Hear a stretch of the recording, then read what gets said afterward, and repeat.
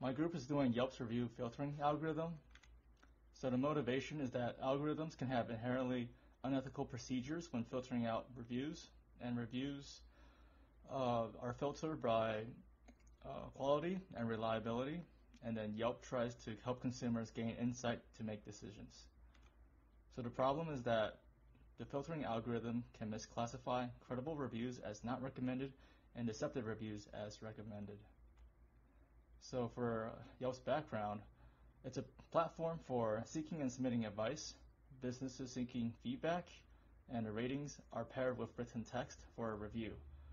The recommended reviews calculate average rating, influence consumer decisions, and impact business revenue. So this is the current location for the Dallas hotel. There's the average rating, 97 reviews, the recommended review, the review itself, and uh, sparse data that we could collect, and then at the bottom is the unrecommended review. So the Yelp's metrics is that they have 150 million total reviews, most recommended, 20% uh, not recommended, removed is because of terms of service violations, and the distribution is below for five and five, four, three, and two, one stars. And the top reviewed businesses by category are shopping, restaurants, and home and local services. The top demographics include um, 35 to 54 years old that finished college and have uh, 100K income. So for understanding Yelp, uh, not recommended reviews are still accessible, does not censor free speech, and can be recommended when the algorithm changes. So reviews are removed by terms of service agreement, and uh, as well as court rulings. So the Yelp filtering algorithm uh, tries to remove purchase, bribe, social political protests, uh, not credible and unrelated, un understandable language, and the algorithm is undisclosed to prevent manipulating the system. So the Yelp dataset collection, uh, the Yelp official dataset does not include uh, not recommended reviews and also they might inherit cleaning biases. So the external audit is used through sampling for a better observational study and scrape using Python script. The two-stage sampling procedure is proportional subgrouping, which preserves consistency. So we sample cities that adopt Yelp and then sample the restaurants from those cities. Restaurants are chosen because they have the most consistent participation. So the Yelp clean data set has uh, the majority, 89% uh, recommended, and uh, through projection of equal probability, it's more than the 150 million reviews from the restaurants and cities that we gathered. Removed reviews are not accessible, and uh, the multivariate logistic regression is a unified model with binary prediction to um, predict recommended versus not recommended, and the features are from metadata adjusted for asymmetry, scaled from 1 to 0 for direct comparisons. And then the coefficients measure feature importance. So for binary prediction, there's true positives and true negatives, which are accurate. There's false positives and false negatives, which are misclassifications, and significance by p-value, which is a test statistics for probable evidence. So there's the equations for accuracy, precision, recall, and F1 is a harmonic mean between precision and recall.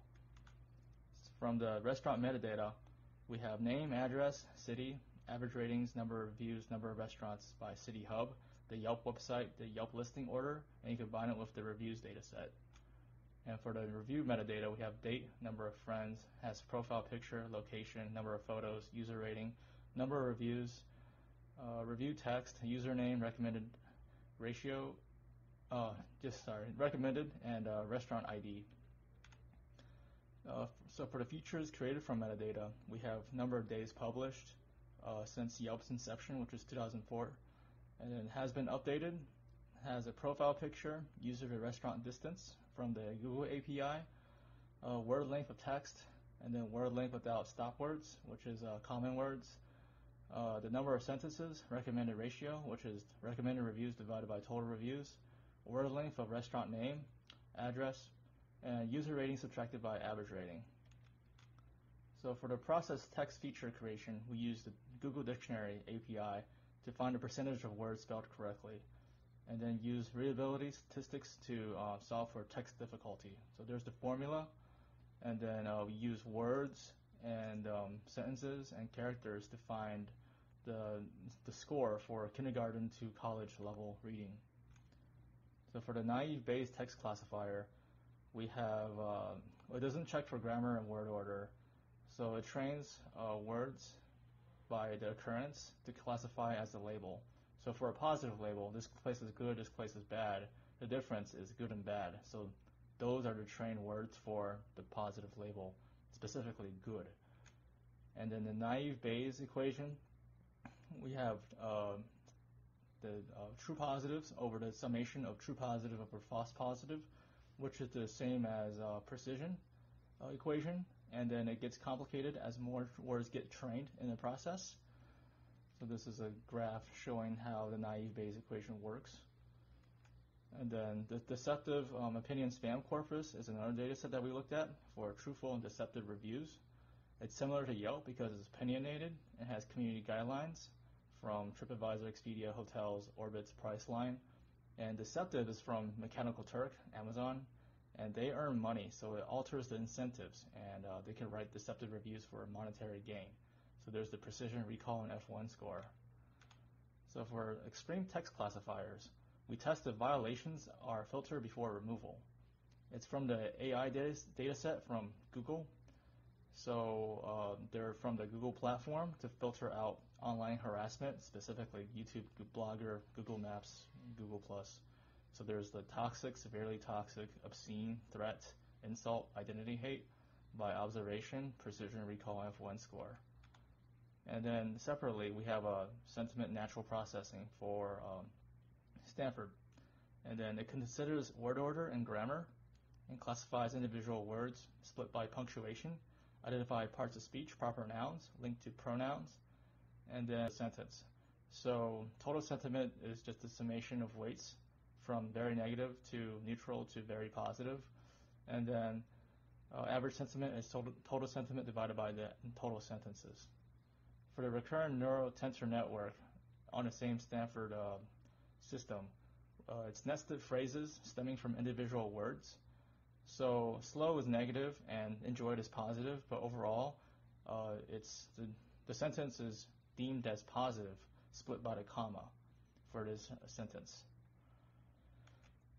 Uh, so the features created from processed text include readability, spelling, deceptive, uh, positive labels, negative labels, total sentiment, average sentiment, and the average sentiment subtracted by user rating, and the average user sentiment subtracted by average restaurant rating.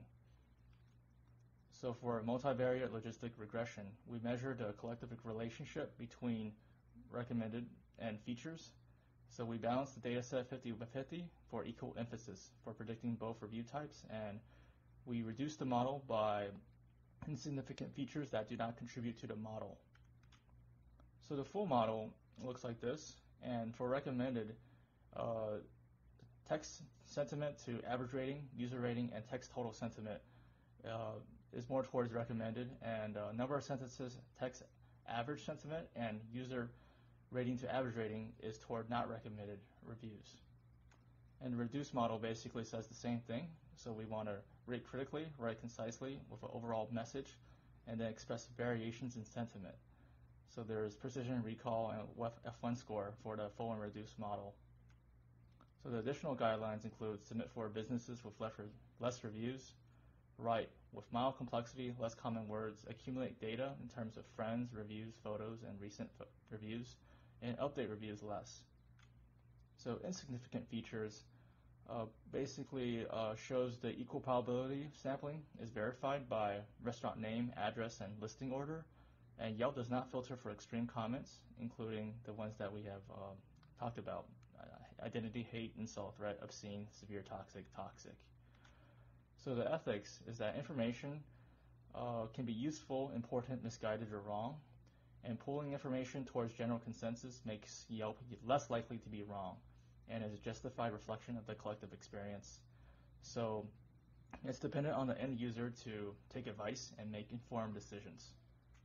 In conclusion, Yelp's filtering algorithm promotes critical ratings, genuine reviews, quality of text, reliability of context, and insight with the conclusions that we've made. Uh, thanks, and that's the citations. Basically it. Cool. That was it.